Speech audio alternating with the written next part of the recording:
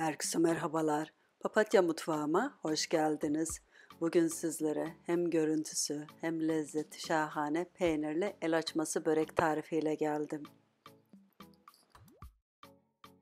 Öncelikle geniş bir yoğurma kabıma bir su bardağı sıcak su, 2 su bardağı sıcak süt,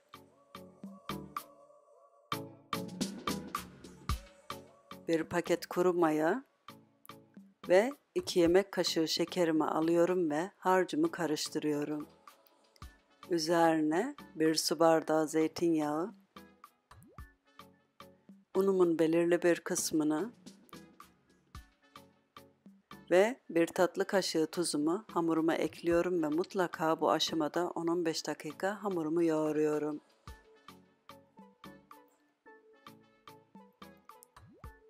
Malzemelerimi her zaman tam ölçüleri ile açıklama kısmına ekliyorum. Dilerseniz oradan bakabilirsiniz arkadaşlar. Hamurumuz istediğim kıvama geldi. Hemen güzel bir şekilde toparlıyorum ve sizlere yakından kıvamını gösteriyorum. Üzerine çok az zeytinyağı döküyorum ve her tarafına sürüyorum. Üzerini sıkıca kapatıyorum ve mutlaka hamurumuzu 45 dakika 1 saat kenara mayalanmaya bırakıyorum. Evet, hamurumuzun mayası geldi. Gerçekten gördüğünüz gibi çok güzel pürüzsüz bir hamur oldu. Hamurumu masama alıyorum. Ve 8 adet bezeler hazırlıyorum.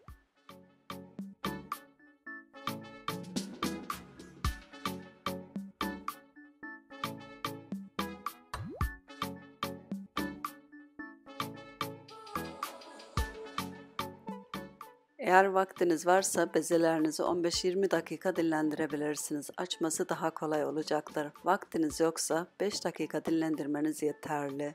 Bezelerimin üzerine örtüyorum ve mutlaka 5-10 dakika dinlendikten sonra üzerine bolun serperek açmaya başlıyorum.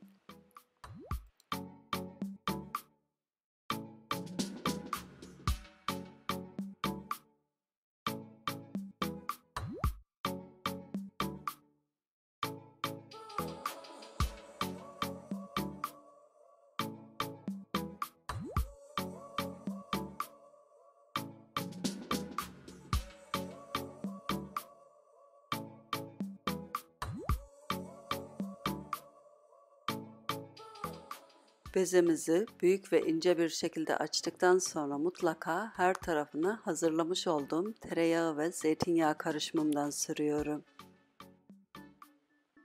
Ve katlama işlemine geçiyorum.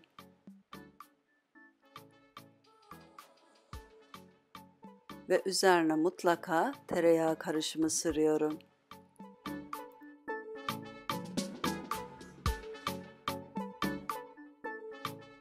Bezelerimizi katlama yaparken mutlaka kenarlarını elimizle biraz düzeltiyoruz arkadaşlar. Evet bu şekilde birinci bezemiz hazır. İnce bir şekilde açıp üzerine tereyağı sürmüş olduğum ikinci bezemin ortasına koyuyorum. Üzerine tereyağı sürüyorum. Ve katlama işlemine geçiyorum.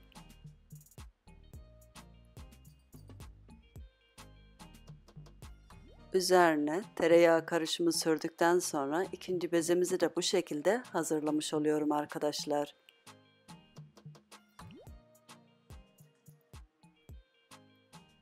Evet, ikinci bezemizi katladıktan sonra üçüncü açıp üzerine tereyağı sürmüş olduğum bezemin ortasına koyuyorum ve tekrar üzerine tereyağı karışımı sürüyorum.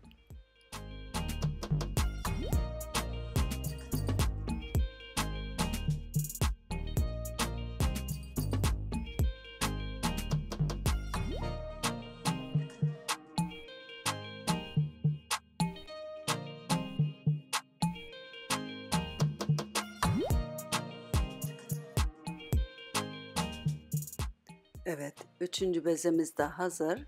En son dördüncü bezemin ortasına koyuyorum ve tekrar üzerine tereyağı sürüyorum ve katlama işlemi yapıyorum.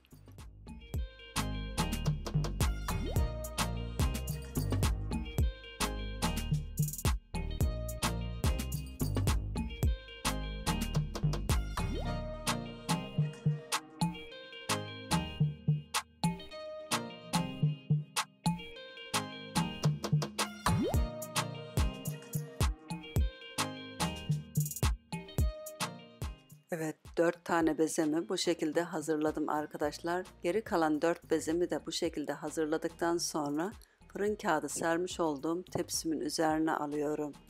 Ve mutlaka üzerlerini sıkı bir şekilde kapatıp yarım saat 40 dakika buzdolabında bekletiyorum.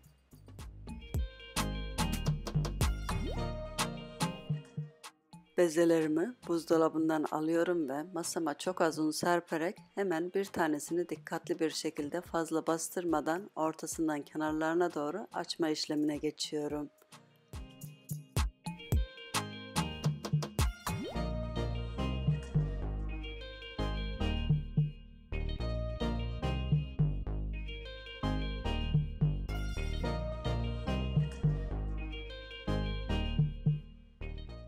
Hamurumuzu açarken mutlaka güzel bir şekilde çevirerek üzerine sadece elimizi una dokundurup üzerine sürerek açıyoruz arkadaşlar.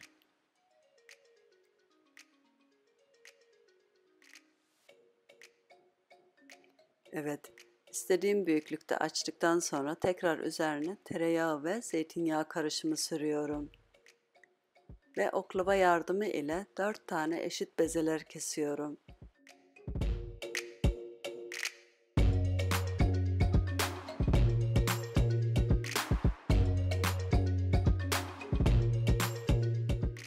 Ortalarına hazırlamış olduğum beyaz peynir, kaşar rendesi ve maydanoz karışımı koyuyorum.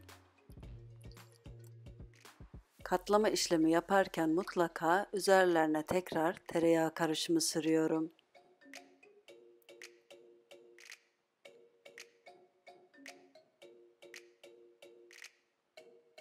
Kenarlarını güzel bir şekilde bastırıyorum ve tepsime alıyorum. Üzerine örtüyorum ve mutlaka 20 dakika dinlendiriyorum. Evet, dinlenmiş olan hamurlarımın üzerine yumurta sarısı sürüyorum.